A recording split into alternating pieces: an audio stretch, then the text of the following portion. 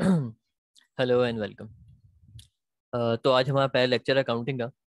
तो यहाँ हम बेसिक से अकाउंटिंग में शुरू करते हैं कि व्हाट इज़ अकाउंटिंग तो पहले अकाउंटिंग की डेफिनेशन समझेंगे, फिर आगे बढ़ेंगे। तो अकाउंटिंग की डेफिनेशन हमारी क्या कहती है? Accounting is the language of business क्या मतलब इस बात का? अगर हमने किसी बंदे से भी कम्युनिकेट करने या किसी की बात को समझना है तो हमें उसकी लैंग्वेज आना ज़रूरी है। तो इसी तरीके से अगर आपने अपने बिज़नेस के फाइनेंशियल मैटर्स को समझना है तो आपको अकाउंटिंग को आना ज़रूरी है। तो इसलिए अकाउंटिंग से लैंग्वेज ऑफ़ बिज़नेस पहली चीज़। सेकंड जब भी हम अकाउंटिंग की बात करते हैं तो हम यहाँ पे बिज़नेस की बात कर रहे हैं। इसका मतलब क्या आप अपनी पर्सनल लाइफ पे अकाउंटिंग अप्लाई नहीं कर रहे होते। आप अकाउंटिंग अप्लाई करते हो बिज़नेस के ऊपर। तो हम जितनी भी यहाँ पे एग्जाम्पल्स लेंगे आगे कोर्स में, सारी हम बिज़नेस से रिलेटेड एग्जाम्पल्स ले रहे होंगे, ना कि आपकी पर्सनल लाइफ की। तो पहली चीज़ आगे बिज़नेस को समझने के लिए बिज़नेस को फाइनेंशियल मैटर्स को समझने के लिए आपको अकाउंटिंग आना ज़रूरी है। तो अकाउंटिंग से लैंग्वेज ऑफ़ बिज़नेस सेकंड हम अकाउंटिंग में करते क्या हैं? अकाउंटिंग में बेसिकली हमारे पास तीन चीज़ें हैं, सबसे पहले। It is the way of collecting recording and summarising financial information of a business ये अकाउंटिंग की डेफिनेशन कंप्लीट होती है। तो इसमें तीन चीज़ें आ जाती हैं। सबसे पहले क्या चीज़ है? It is the way of collecting recording and summarising financial information of a business ये हमारी डेफिनेशन कंप्लीट हो जाती है। अब इस डेफिनेशन को समझ लेते हैं, इसमें क्या बात हो रही है। सबसे पहले जब हम कोई भी बिज़नेस करते हैं तो बिज़नेस के अंदर होती है हमारी ट्रांजेक्शन ट्रांजेक्शन का मतलब क्या होता है? लेन देन जो हम सामान खरीद रहे हैं, बेच रहे हैं पेमेंट्स हो रही हैं, पैसा आ रहा है एम्प्लॉयज़ को पैसे पे कर रहे हैं, मुख्तलिफ़ किस्म के हमारे अखराज हो रहे हैं बिज़नेस के, ये सब ट्रांजेक्शन हैं, जो बिज़नेस में लेन देन हो रहा है। तो जितनी भी हमारे बिज़नेस की ट्रांजेक्शन होती हैं सबसे पहले वो इन्फॉर्मेशन कलेक्ट की जाती है अकाउंटिंग में। सबसे पहले हमने इन्फॉर्मेशन कलेक्ट करते हैं देन हम उसको रिकॉर्ड करते हैं। रिकॉर्ड करना हम सीखेंगे अभी फर्दर जब आगे बढ़ेंगे तो। तो सबसे पहली चीज़ होती है कलेक्शन ऑफ़ इन्फॉर्मेशन अब ये कलेक्शन कैसे होती है? थ्रू सोर्स डॉक्यूमेंट्स ये सोर्स डॉक्यूमेंट्स क्या होते हैं? जब आप कोई परचेजिंग करते हो कहीं से तो आपको, आपकी कोई इन्वाइस मिलती है परचेज इन्वाइस आपका कोई एक्सपेंस होता है तो आपको इसकी कोई, उसका बिल आता है आपके पास। जब आप सेल्स करते हो तो सेल्स इनवाइस जनरेट होती है। कोई पेमेंट करते हो तो पेमेंट रिसीट बन जाती है सेल्स रिसीट बन जाती है, पैसा रिसीव करते हो। तो ये सारे होते हैं सोर्स डॉक्यूमेंट्स जहाँ से आपको इन्फॉर्मेशन कलेक्ट करनी होती है। यहाँ से इंफॉर्मेशन कलेक्ट करने के बाद हम इसको रिकॉर्ड करते हैं, जिसको हम बुक कीपिंग कहा जाता है। तो अकाउंटिंग का एक पार्ट है बुक कीपिंग सबसे पहले इन्फॉर्मेशन कलेक्ट की थ्रू सोर्स डॉक्यूमेंट्स देन हमने उसको रिकॉर्ड करना शुरू किया, जिसको हम बुक कीपिंग कहते हैं। अब रिकॉर्डिंग कैसे करनी है? अभी नेक्स्ट देखेंगे। थर्ड स्टेप होता है हमारा समराइजिंग फाइनेंशियल इन्फॉर्मेशन तो सबसे पहले फाइनेंशियल इन्फॉर्मेशन कलेक्ट किया थ्रू सोर्स डॉक्यूमेंट्स देन हमने उसको रिकॉर्ड किया रिकॉर्ड करना सीखेंगे. थर्ड आता है समराइज समराइज कैसे करेंगे इन्फॉर्मेशन को? समराइज किया जाता है फाइनेंशियल स्टेटमेंट्स के अंदर जाके. अभी फाइनेंशियल स्टेटमेंट्स क्या चीज़ होती है? ऑब्वियसली भी आपने अकाउंटिंग पढ़ना शुरू किया अभी आपको नहीं पता. लेकिन आसान समझने के लिए यूँ समझ लें कि आपने जो पूरे साल अपना बिज़नेस किया, वो सारी इन्फॉर्मेशन आप एक जगह समराइज करके ये देख लेते हो कि at the end of the year आपने प्रॉफिट या लॉस कितना अर्न किया या कितना आपको लॉस हुआ. ये आप देख लेते हैं कि आपके पास at the end of the year जो आपके असासे कितने बिज़नेस के। अभी मैं एक्जैक्टली वर्ड यूज़ नहीं कर रहा क्योंकि अभी आप उससे फेमिलर नहीं है। आपके बिज़नेस के असासे कितने हैं? आपका सरमाया कितना लगा हुआ है? आपके पास कर्जे कितने हैं? ये फाइनेंशियल जब आप इंफॉर्मेशन को समराइज करते हैं तो फाइनेंशियल स्टेटमेंट से आपको इन्फॉर्मेशन मिल जाती है। तो सबसे पहले चीज़ accounting is language of business और then it is a way of collecting recording and summarising financial information ये आपके अकाउंटिंग की डेफिनेशन होगी। अब सवाल ये आता है, आगे अकाउंटिंग हमने पढ़ना क्या है? अकाउंटिंग बेस करती है कुछ हेड्स के ऊपर, जो मैंने बात की अभी कि हम बुक कीपिंग करते हैं अकाउंटिंग में तो किस चीज़ की बुक कीपिंग या किस चीज़ की रिकॉर्ड रिकॉर्डिंग करेंगे? कुछ हेड्स हैं, जो भी मैं आपको बताऊँगा, उन हेड्स की हम रिकॉर्डिंग करेंगे और वो, उन हेड्स की जो रिकॉर्डिंग होगी, वो कुछ रूल्स के तहत होगी, जिसको हम कहते हैं rules of debit and credit इससे पहले मैं रूल्स ऑफ़ डेबिट क्रेडिट की तरफ़ बढ़ूँगा, मैं आपको उन हेड्स के बारे में बताऊँ, थोड़ी सी एक अकाउंटिंग की हिस्ट्री के बारे में बात कर लेते हैं। जैसे हम डिफरेंट सब्जेक्ट के बारे में पढ़ते हैं, किसी ना किसी सब्जेक्ट को किसी ने इन्वेंट किया होता है। कंप्यूटर की बात करते हैं तो चार्ल्स बाबेज का नाम आता है। इससे हम किसी मैथमेटिशियन का नाम पढ़ लेते हैं अब अलजबरा पढ़ते हैं तो वहाँ पर अल्फाजमी का नाम पढ़ लेते हैं। तो इसी तरह से अकाउंटिंग को भी किसी ने इन्वेंट किया। एक साहब थे। लुकास पासियोली उनका नाम था। ऑब्वियसली पाकिस्तानी नहीं थे। तो सॉरी लुकास पाकिस्तानी लिखते लुकास पासियोली। ये इनका नाम था। तो लुकास पासियोल इनका नाम था। 1494 नवंबर में इन्होंने अकाउंटिंग को इन्वेंट किया। ठीक है? तो एक छोटी सी इंफॉर्मेशन थी अकाउंट्स के रिलेटेड जो कि आपको पता होनी चाहिए सब्जेक्ट से रिलेटेड और अब आगे बढ़ते हैं। जिसकी बात कर रहा था मैं rules of debit and credit की। अब ये rules of debit and credit क्या कौन से हेड्स हैं? पहले हम इन हेड्स को समझते हैं आपके पास नाम यहाँ पे लिखे हुए assets expense liabilities capital revenue एक एक हेड को पहले समझेंगे, फिर आगे बढ़ेंगे। ये वो हेड्स हैं, जिनकी आप बुक कीपिंग करेंगे, जिनको आप अपने अकाउंट्स में फाइनेंशियल स्टेटमेंट्स में या अपनी बुक्स में रिकॉर्ड करेंगे। एसेट्स क्या चीज़ होती है? एसेट्स का मतलब होता है बिज़नेस के असास बिज़नेस की जायदाद। ठीक है? सेकेंड चीज़ आती है हमारे पास एक्सपेंसिस एक्सपेंस क्या होता है? बिज़नेस के अखराज जो बिज़नेस खर्चे करता है। मुख्तलि फॉर्म में बिज़नेस खर्चे होते हैं। अभी एसेट्स की मैंने एग्ज़ाम्पल नहीं दी, क्योंकि आगे हमने इसको डिटेल में पढ़ना है। एक्सपेंसिस क्या होते हैं? एक्सपेंसेस होते हैं बिज़नेस के अखराज जो खर्चे करता है बिज़नेस को चलाने के खर्चे होते हैं। अगर आपने प्रॉपर्टी रेंट पे ली हुई तो उसका रेंटल एक्सपेंस होगा इलेक्ट्रिसिटी डिफरेंट यूटिलिटी एक्सपेंसेस होंगे सैलरी एक्सपेंस अपने एम्प्लॉयज़ को आप पे कर रहे होंगे, और मुख्तलिफ़ आपके एक्सपेंसेस होंगे। टैक्स एक्सपेंस है, जब आप अपने बिज़नेस में इनकम अर्न करते हैं तो उस पर आप टैक्स भी पे करते हैं। आपने लोन लिया होता है किसी बैंक से, किसी फाइनेंशियल इंस्टीट्यूशन से तो आप उस पर इंटरेस्ट पे करते हैं इंटरेस्ट आपका एक्सपेंस है। तो एक्सपेंसेस भी अपने बिज़नेस के रिकॉर्ड करेंगे। तीसरी चीज़ आती है लाइबिलिटीज़ लाइबिलिटीज़ का मतलब होता है बिज़नेस के कर्जे। जो बिज़नेस ने क्रेडिट पे किसी से बोरिंग की हुई हो। अब लाइबिलिटीज़ का मतलब सिर्फ़ और सिर्फ़ ये नहीं है कि आपने बैंक से जाके बोरिंग कर ली। लाइबिलिटीज़ की डिफरेंट शक्लें हो सकती हैं डिफरेंट सूरत हो सकती है। जैसे कि पहली चीज़, आपने बैंक से जाके बोरिंग कर ली सबसे पहले तो लाइबिलिटी आपके पास यही आ गई। सेकंड अगर आपने किसी वेंडर से, किसी सप्लायर से क्रेडिट पे माल परचेज किया है, कोई भी चीज़ परचेज की है आपने तो वो भी आपकी लाइबिलिटी है, वो भी कर्ज है। और ये कर्जे की ये फॉर्म भी है कि आपने अपने कस्टमर से एडवांस में पैसा ले लिया। किसी कस्टमर ने आपको एडवांस में पैसे दे दिए वो भी आपकी लाइबिलिटी है। तो सबसे पहली चीज़ एसेट्स बिज़नेस के जायदाद आपके असासे। एक्सपेंसेस बिज़नेस के अखराज लाइबिलिटीज बिज़नेस कर्जे और थर्ड आता है कैपिटल अब अकाउंटिंग में कैपिटल की टर्मिनोलॉजी का मतलब क्या है? कैपिटल का मतलब होता है सरमाया। वो पैसा जो आपने बिज़नेस को सेटअप करने के लिए लगाया। ठीक है, वो पैसा जो आपने बिज़नेस को सेटअप करने के लिए स्टार्ट करने के लिए लगाया। जैसे आपने इकोनॉमिक्स में कभी पढ़ाओ कि जब आप बिज़नेस स्टार्ट करते हो तो आपको किस चीज़ की ज़रूरत होती है? आपको लैंड की ज़रूरत पड़ती है। आपको इक्विपमेंट्स की ज़रूरत पड़ती है। आपको एक ऑर्गेनाइजेशन सेटअप करने के लिए मुख्तलिफ़ एक्सपेंसेस मुख्तलिफ़ पैसा जगह पे पैसा इन्वेस्ट करना पड़ता है। तो उसको हम कहते हैं कैपिटल लास्ट हमारा हेड है revenue last but not the least इसके अलावा भी कुछ होता है, बाद में डिस्कस करेंगे। रेवेन्यू का मतलब क्या होता है? आपकी आमदनी।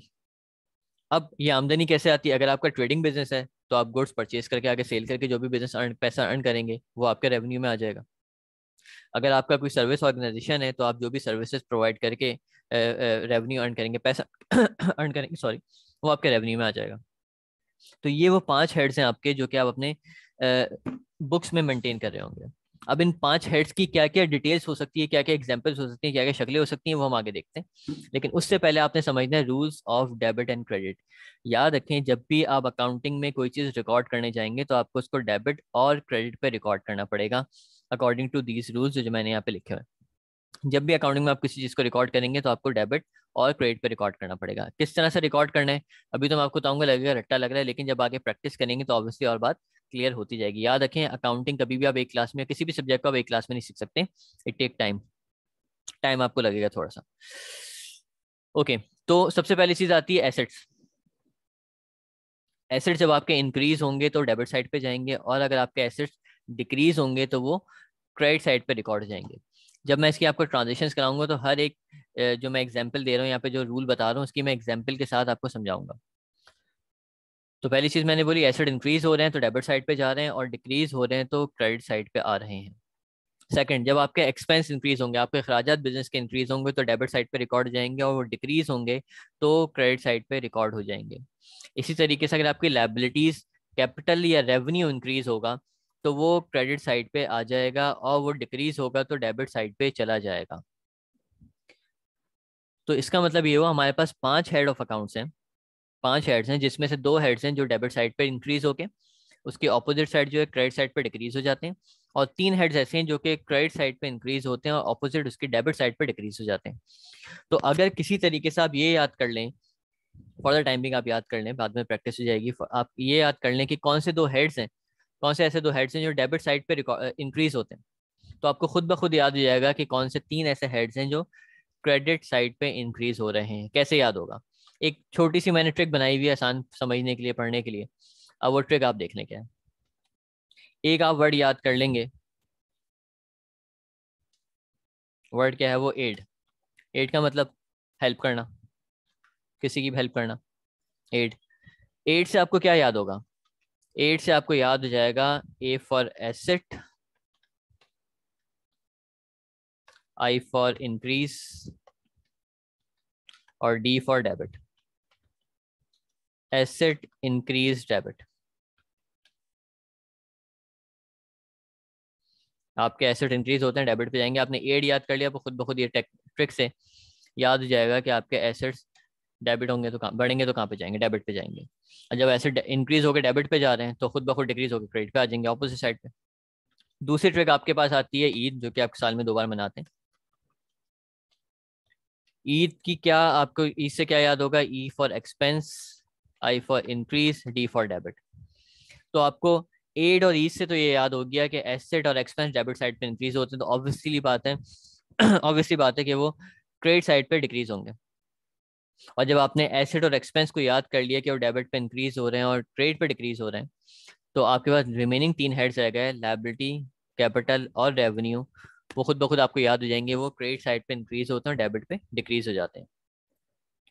अब आप ये कहते हैं, नहीं, मुझे तो ये पाँच नाम ही याद नहीं हो रहे, मैं पाँचों नाम भूल जाऊँगा। जब तक आपको ये पाँच नाम नहीं याद होते, आपको ये कैसे याद रहेगा, एड और ईद। तो ये पाँच नाम याद करने का भी एक तरीका मौजूद है, आसान सा। एक और उसके लिए भी टेक्निक है। उसके लिए क्या टेक्निक है? आप एक वर्ड याद कर लें। Clear. C, L, E, A, R. Clear. जब आप ये क्लियर याद कर लेंगे तो आपकी आधे मसले वैसे ही ख़त्म हो जाएँगे। अब ये क्लियर से क्या याद होगा आपको? बता देता हूँ, यहाँ लिख भी देता हूँ मैं इसको।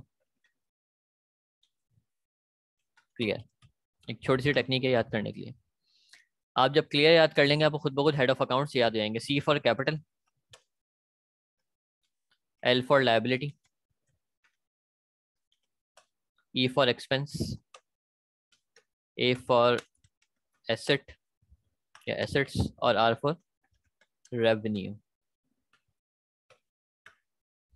तो अब आपको खुद ही याद हो गया, जब आपने क्लियर याद कर लिया क्लियर से आपको याद हो गया पाँच हेड्स और जब आपको पाँच हेड्स के नाम याद हो गए, अब आपको इसमें पता है एड और ईद।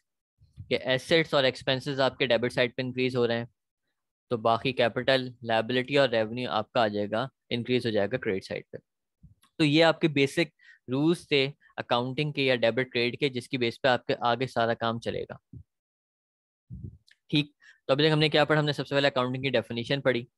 हमने ये देखा कि अकाउंटिंग इन्वेंट कब हुई थी और किस ने इन्वेंट की थी? लुकास पासोलियन उनका नाम था 1494 नवंबर में। और इसके बाद हम आ जाते हैं रूल्स ऑफ़ डेबिट क्रेडिट पे। अच्छा जी, अब आगे बढ़ते हैं और। अब हम डिटेल में डिस्कस करेंगे एसेट्स को। लोग ये समझते हैं सिर्फ़ अकाउंटिंग का मतलब है कैलकुलेशन जब तक आप अकाउंटिंग की थ्योरी प्रॉपरली नहीं समझ लेते कॉन्सेप्ट को क्लियर नहीं कर लेते, आपको अकाउंटिंग की कैलकुलेशन भी समझ नहीं आएगी, रट्टा लगाने अलग बात है, उसका फ़ायदा कोई नहीं है। अच्छा जी, सबसे पहले हम समझते हैं एसेट्स एसेट्स हमारे पास दो टाइप के एसेट्स मैंने भी आपको क्या बताया बिज़नेस के असास बिज़नेस की जायदाद। एसेट्स हमारे पास दो टाइप के हैं। इससे पहले एसेट्स के बारे में आपको और फर्दर बताऊँ, पहले एसेट की डेफिनेशन नोट कर लेते हैं। एसेट की डेफिनेशन क्या है? एसेट की डेफिनेशन है रिसोर्स फिर समझ भी लेंगे डेफिनेशन को। Resource controlled by an entity arising as result of past event from which is probable that future economic benefits will flow to the entity ये आपके एसेट की डेफिनेशन आ गई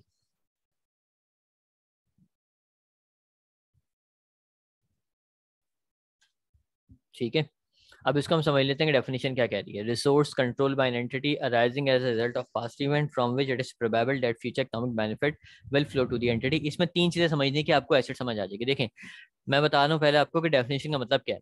डेफिनेशन का मतलब ये होता है जो आपको किसी चीज़ की पहचान बताए। तो मैं आपको एसेट की पहचान बताऊँ ऐसे मैं आपको पचास एग्ज़ाम्पल लिखवाया तो ये ये एसेट्स होते हैं। कोई फ़ायदा नहीं है, उसके अलावा कोई नाम आगे समझ नहीं पाएँगे। तो एसेट की आप डेफिनेशन को समझ लें, पहचान समझ लें, फिर किसी भी चीज़ को पहचानना मुश्किल नहीं होगा कि वो एसेट है या नहीं है। तो सबसे पहली चीज़ resource controlled by an entity किसी भी चीज़ पे आपका कंट्रोल आ जाए, वो आपका एसेट है। सबसे पहली चीज़, किसी भी चीज़ पे आपका कंट्रोल आ जाए, वो आपका एसेट है। अब मैंने ये नहीं लिखा own by an entity ownership का होना ज़रूरी नहीं है एसेट होने के लिए कंट्रोल का होना ज़रूरी है। कई बार ऐसा होता है, आप एसेट को रेंट पे लेके आते हैं आसान अल्फाज यूज़ करते हैं लीज पे लेके आते हैं दस साल के लीज पे ले आते हैं। तो नेक्स्ट टेन ईयर्स के लिए जब आप एसेट को लीज पे लेकर आ रहे हैं रेंट पे लेकर आ रहे हैं तो आपके पास तो कंट्रोल है उस एसेट का। तो टेन ईयर्स के लिए एसेट को अपने पास रिकॉर्ड करके दिखाएँगे, क्योंकि आप जैसे मर्ज़ी चाहे उस एसेट को यूज़ कर सकते हैं, आपका कंट्रोल आ चुका है। तो इसलिए अगेन मैंने कहा ओनरशिप का होना ज़रूरी नहीं है। ज़रूरी नहीं आप एसेट परचेज करके लाएँ, तभी वो आपका एसेट कहलाए। कोई चीज़ परचेज करके लाएँ, तभी एसेट कहलाए। आप एसेट को रेंट पे लेके आते हैं और बिज़नेस के अंदर यूज़ करते हैं तो तब भी आपका उस पर कंट्रोल आ रहा है और वो आपका एसेट रिकॉर्ड होगा। तो सबसे पहली चीज़ हो गई resource controlled by an entity number two arising as a result of past events का क्या मतलब है? वो जो आपके पास कंट्रोल आया एसेट का, जो फॉर एग्ज़ाम्पल मैंने एक प्रॉपर्टी रेंट पे ली नेक्स्ट टेन ईयर्स के लिए, मैंने कहा यहाँ पे अपना कोई बिज़नेस करूँगा, अपनी फैक्ट्री लगाऊँगा तो उसका जो रेंटल एग्रीमेंट जिस वक्त हुआ, वो एक इवेंट था, उसको हम पास इवेंट कहते हैं। तो कोई ना कोई इवेंट होना ज़रूरी है किसी भी ट्रांजेक्शन पे होने के लिए।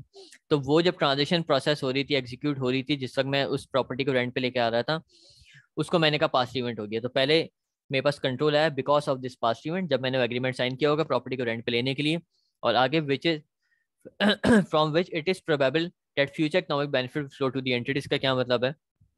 कि इस रिसोर्स से, जिस पे आपका कंट्रोल आ चुका है, आपको फ्यूचर में इकोनॉमिक बेनिफिट्स भी मिलेंगे। What do mean by economic benefits आपको प्रॉफिट्स कमा के देगा इन फ्यूचर एसेट तो ये तीनों चीज़ों का एट अ टाइम होना ज़रूरी है। अगर किसी भी चीज़ के अंदर में से इस एक एक भी चीज़ हट जाए तो वो फिर आपका एसेट क्लासीफाई नहीं हो सकता।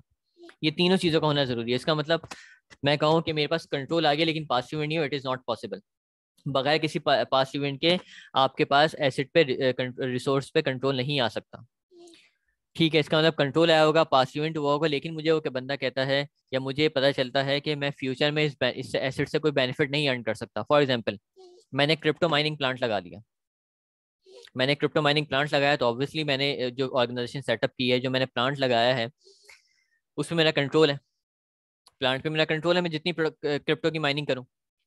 पास इवेंट हो चुका है, जब मैंने इस प्लांट को परचेज किया होगा या उसका रेंटल एग्रीमेंट बना होगा।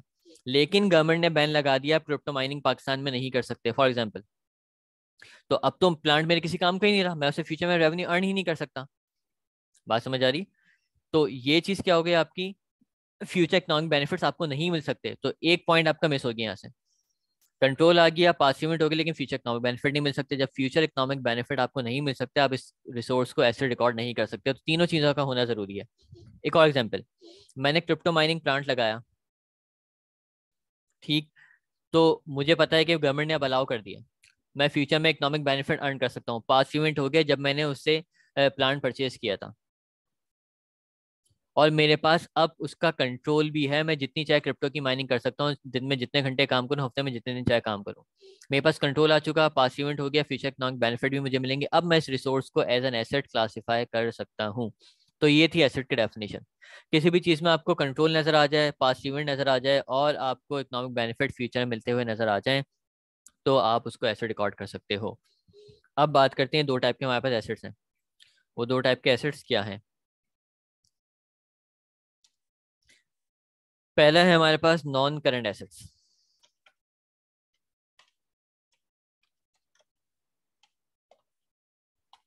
non current assets की भी अगेन पहचान बता देता हूँ.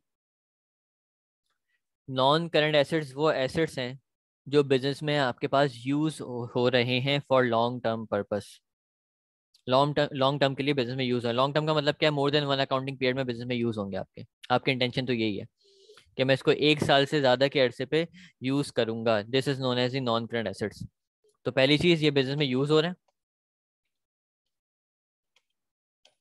Second for long term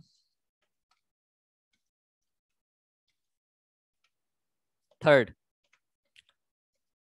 they are not easily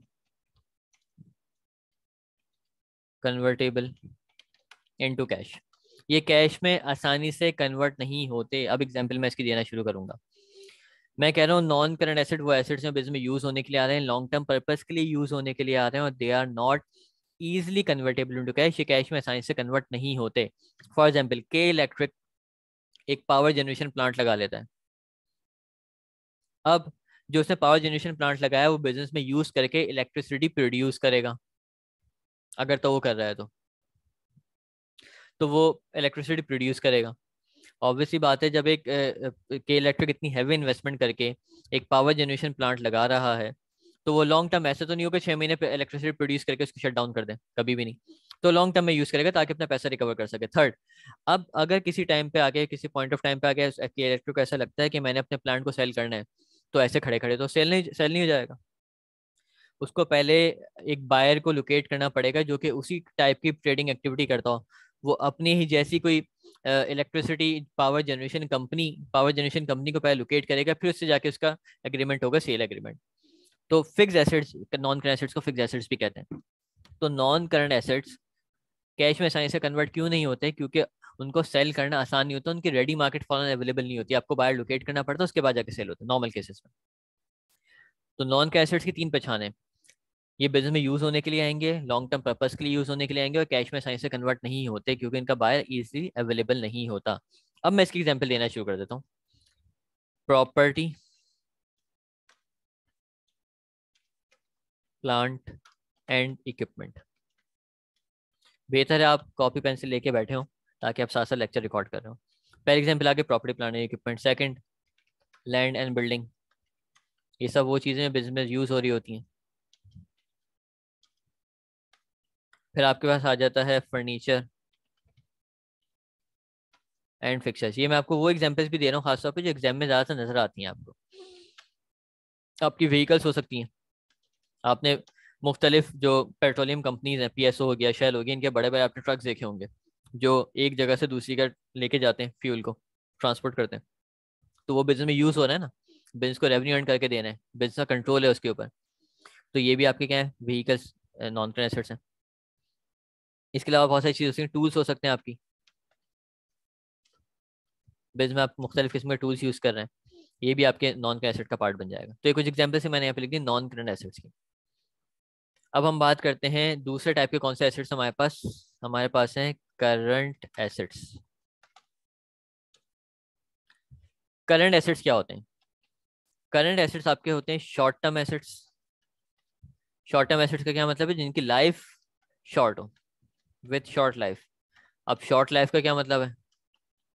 short life का मतलब है लेस देन अकाउंटिंग पीरियड या ट्वेल्व मंथ्स जो 12 महीने के अंदर ही अंदर आपके या तो यूटिलाइज हो जाएँगे या वो कैश में कन्वर्ट हो जाएँगे, इसलिए इसको इजिली कन्वर्टेबल इनटू कैश भी कहा जाता है।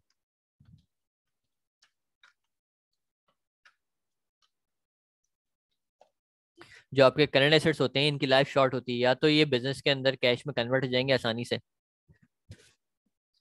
या फिर ये कंज्यूम हो जाएँगे यूज़ हो जाएँगे within an accounting period within twelve months ये करंट एसेट्स कहलाते हैं। एग्ज़ाम्पल क्या है इसकी? एग्ज़ाम्पल दे देता हूँ। सबसे पहले हमारा एग्ज़ाम्पल इट कैश और बैंक कैश तो आपका है ही available in form of cash आप इसको कभी भी यूज़ कर सकते हो कंज्यूम कर सकते हो। बैंक में जो आपका पैसा है, वो भी आप बैंक से विड्रॉ करा के कैश में कन्वर्ट करा सकते हो। तो यहाँ पर करंट एसेट की एग्ज़ाम्पल है।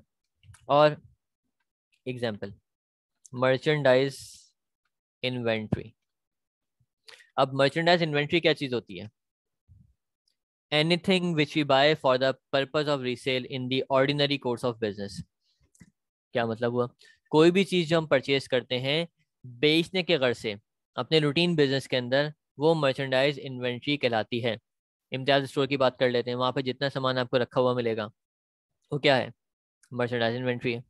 आप किसी शोरूम की बात करो शोरूम पे जितनी आपके पास आपको गाड़ियाँ खड़ी नज़र आएँगी, उसने बेचने के लिए परचेज की है, वो उसकी मर्चेंडाइज इन्वेंट्री है। तो मर्चेंडाइज इन्वेंट्री बेस करेगी बिज़नेस के नेचर पे। अगर मैं किसी हैबिट की बात करूँ तो हैबिट के बाद जितना फर्नीचर आपको रखा हुआ नज़र आएगा, वो उसकी मर्चेंडाइज इन्वेंट्री है। ठीक? तो मर्चेंडाइज इन्वेंट्री क्या चीज़ होती है? Anything which you buy for the purpose of resale in the ordinary course of business आगे जब मर्चेंडाइज इन्वेंट्री का चैप्टर डिटेल में पढ़ेंगे तो फर्दर बात करेंगे डिटेल में डिस्कस करेंगे। एक और एग्ज़ाम्पल करंट अकाउंट रिसीवेबल की अच्छा मर्चेंट इन्वेंट्री करंट एसेट कैसे? या तो बारह महीने में वो बिक जाएगी। और अगर नहीं बिके तो या तो उसकी लाइफ इतनी शॉर्ट होगी एक्सपायर हो जाएगी, या फिर आप जिस वेंडर से आपने उसको परचेज किया सप्लायर को वापस कर देंगे। कोई भी चीज़ में तीन में से एक हो सकती है। इसलिए करंट एसेट है। फिर आता है आपके पास अकाउंट्स रिसीवेबल अकाउंट्स रिसीवेबल का क्या मतलब है? अकाउंट रिसीवेबल का मतलब होता है, जब आप किसी को क्रेडिट पे सामान बेचते हो, उधार पे सामान बेचते हो तो आप उससे पैसा मांगते हो। उस पैसा मांगने को हम कहते हैं अकाउंट रिसीवेबल इसका मतलब आज मैंने एक सेल की एक लाख रुपए की और उसके अगेंस्ट मुझे पैसा नहीं मिला तो मैं ऐसा पैसा मांगूँगा। तो अपने बुक्स में मैं उसको किस नाम से रिकॉर्ड करूँगा? अपनी बुक्स में अकाउंट रिसीवेबल के नाम से रिकॉर्ड करूँगा। इसका मतलब क्या है कि ये पैसा लेना, एक लाख रुपए मुझे लेना बाकी है और जिस बंदे से मुझे पैसा लेना बाकी है, हम उसको डेटर बोलेंगे। ये डेप्टर्स नहीं है बी साइलेंट है। ये डेटर्स है। तो अकाउंट रिसीवेबल या डेटर्स क्या होते हैं कि जब आपने उधार पे या क्रेडिट पे सामान सेल किया है और पैसा उसका जो लेना बाकी है, उसको अकाउंट रिसीवेबल या डेटर्स कहा जाता है। ये करंट एसेट क्यों है? किसी को भी आप नॉर्मल बिज़नेस में सेल करोगे तो एक साल का टाइम तो दोगे नहीं मैक्सिमम नाइन्टी डेज़ का टाइम दे दोगे। बहुत हुआ तो आप वन एटी डेज़ का टाइम दे दोगे, वो भी बहुत ज़्यादा है। वो भी छः महीने बनते हैं। तो आपको पता है, अगर आपका छः सात महीने से आठ महीने से पैसा लेट हो रहा है तो आपको पैसा मिलना नहीं है। तो वह तो या तो राइट ऑफ़ हो जाएगा, या फिर वो कंज्यूमर आपको पैसा देके चले जाएगा, या फिर आप उस कस्टमर को डिस्काउंट ऑफ़र करके उससे जल्दी पैसे ले लोगे। तो अकाउंट सीबल भी करंट एसेट क्यों है? क्योंकि वो या तो कैश में कन्वर्ट हो जाएगा या इट खत्म होकर राइट ऑफ़ हो जाएगा, अगर बंदा पैसा लेके भाग गया डिफ़ॉल्ट कर दिया उसने। इसके बाद एक और एग्ज़ाम्पल है करंट एसेट्स की प्री पेमेंट्स प्रीपेड्स भी कहते हैं इसको। प्री पेमेंट्स का क्या मतलब होता है? जब आप पहले पैसा पे करते हो, बाद में आप उसको यूटिलाइज करते हो। जैसे आपका मोबाइल का बैलेंस सबसे अच्छी एग्जांपल है। या अपना इंटरनेट का प्रीपेड कार्ड लोड करवा लेते हो पहले आप पैसे पे करते हो, फिर बाकी पूरे महीने आप उसकी सर्विस यूटिलाइज करते हो, जितना भी टाइम पीरियड के लिए आपने प्री पेमेंट किया। रेंटल एग्रीमेंट्स में नॉर्मली यही होता है कि आप पहले पैसे पे कर देते हो बाद में उस जगह को यूटिलाइज करते हो। तो प्री पेमेंट का मतलब क्या होता है? पहले पैसा पे करना और बाद में उस चीज़ को यूटिलाइज करना। तो क्योंकि आपने पहला पैसा पे कर दिया सर्विस अभी तक आपने नहीं ली है तो वो आपका एसेट है। उस वक्त तक आपका एसेट है जब तक आप उस चीज़ को यूज़ नहीं कर लेते। और ये करंट एसेट है। क्यों करंट एसेट है क्योंकि within an accounting period ये आपका यूटिलाइज हो जाएगा। विद इन ट्वेल्व मंथ आपका यूटिलाइज हो जाएगा। कैसे? कभी भी आप एक साल से ज़्यादा अरसे की तो प्रीपेमेंट नहीं करोगे। इनकेस कर दी तो फिर क्या होगा बताऊँगा। बता देंगे, उसका भी सोल्यूशन है। लेकिन नॉर्मली प्रीपेमेंट्स बारह महीने के अरसे के लिए ही होती हैं। अगर बारह महीने से ज़्यादा के अरसे के लिए होंगी तो जितना वैसे बहुत टेक्निकल बात है थोड़ी सी आपके लिए मुश्किल होगी, लेकिन फिर भी बता रहा हूँ। अब बात कर दिए तो। अगर आपने कोई प्रीपेमेंट की है जो कि बारह महीने के अंदर अंदर यूटिलाइज हो जाएगी, वो तो आपका करंट एसेट है। लेकिन अगर आपने फॉर एग्ज़ाम्पल प्रीपेमेंट कर दी नेक्स्ट फिफ्टीन मंथ्स की तो बारह महीने की जो प्रीपेमेंट्स है, वो आपकी करंट एसेट क्लासीफाई होंगी। जो तीन महीने की आपकी प्रीपेमेंट्स है, जो कि एक साल से ज़्यादा के अरसे में जाके यूटिलाइज होनी है, आगे जाके यूटिलाइज होनी है, वो आपकी नॉन करंट एसेट में क्लासीफाई हो जाएँगी। तो प्रीपेमेंट्स आपकी यूजुअली 99.99 परसेंट केसेस में आपके बिज़नेस के अंदर जो आपका कोर्स है या जो भी आप पढ़ रहे हो आपके पास करंट एसेट्स में ही प्रीपेमेंट नज़र आ रही होंगी। प्रैक्टिकली ऐसा पॉसिबल है कि प्रीपेमेंट एक साल से ज़्यादा कर सकी तो ये भी आपके अगर आखिर में एक एग्ज़ाम्पल और है ऑफ़िस सप्लाईज की। अभी ऑफ़िस सप्लाईज क्या चीज़ होती हैं।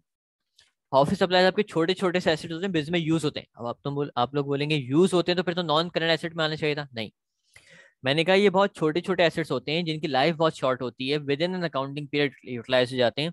इस वजह से ये करंट एसेट में क्लासीफाई करेंगे। एग्ज़ाम्पल बताता हूँ। स्टेशनरी का सामान हो गया। ये आपके करंट एसेट्स हैं। या कुछ इस तरह की सप्लाईज हो गई। कोई बल्ब है कोई और चीज़ आ गई आपकी ज़्यादातर ऑफ़िस सप्लाईज के अंदर स्टेशनरी रिलेटेड सामान ही आएगा। आपके पेन पेंसिल हो गए पे, पेपर्स हो गए या आपकी क्या कार्टरेज हो गई किसी ए, ए, प्रिंटर की प्रिंटर के पेजेस हो गए ये सब आपके ऑफ़िस सप्लाईज में फॉल कर जाएँगे। क्योंकि विद इन अकाउंटिंग पे यूटिलाइज हो जाने। जब ये विद इन अकाउंटिंग पे यूटिलाइज हो जाने हैं तो ये क्या कहलाते हैं ऑफ़िस सप्लाईज और ये करंट एसेट्स में क्लासीफाई करते हैं। तो सबसे पहले आप लोगों को मैंने बताया था एसेट्स क्या चीज़ होती है, जिसमें आपको तीन चीज़ें नज़र आ जाएँ, कंट्रोल नज़र आ जाए, पास्ट इवेंट की वजह से हुआ हो और आपको फ्यूचर में इकोनॉमिक बेनिफिट्स मिले, ये आपका एसेट है।